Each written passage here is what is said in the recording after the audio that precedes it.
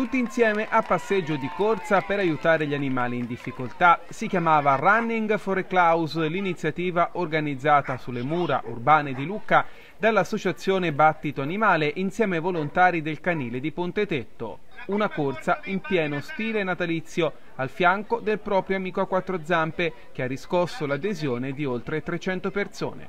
Noi siamo un'associazione animalista lucchese che si occupa del recupero, della cura e dell'adozione di tutti gli animali abbandonati.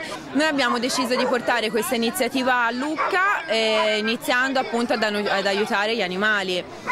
E, um, si tratta di una corsa non competitiva dove ognuno di noi indossa un elemento natalizio si corre, si cammina e il ricavato va agli animali appunto che aiuta Battito Animale e Battito Animale a sua volta ha deciso di fare questo evento in collaborazione con il canile di Ponte Tetto che mh, è gestito dall'Empa di Lucca.